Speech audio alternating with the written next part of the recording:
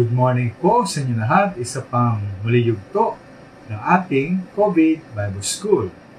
Pamagat po ng ating aralin ngayong umaga ay magbago habang may panahon pa.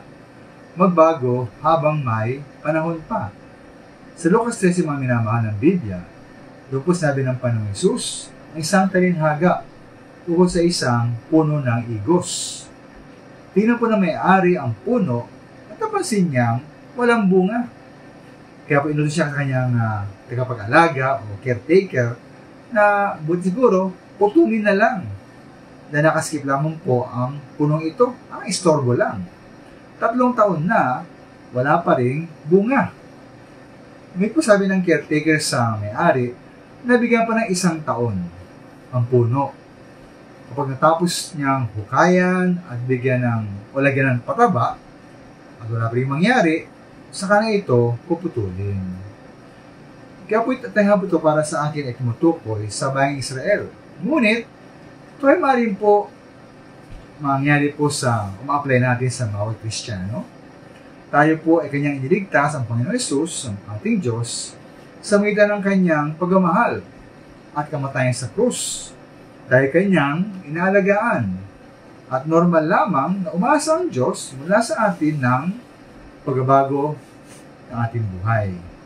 Normal lamang minamahal na umasa siya mula sa atin ng bunga. Bunga ng mabuting gawa at bunga ng mahusay na pag-uugali.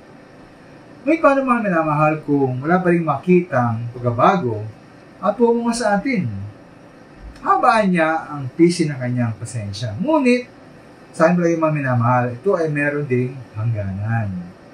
Kung mga tiling matigas ang ating ulo, sa ng kanyang mga turot babala, wala pa rin pagbabago at pumungang makita, maaari pong hatol na agapamakan ang darating sa atin. Ay nga po sa Mateo 3, 8 ng Gis, hinamon tayo na ipakita na tunay ang ating pagsisisi. Kung tayo umasa mga minamahal sa anumang natanging relasyon kay Abraham ika nga, no? Dahil nakahanda po ang palakol sa ugat ng puno. At ang bawat punong hindi mabuti ang bunga ay puputulin. Tapon po yan sa apoy.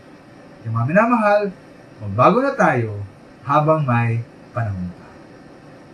Maraming salamat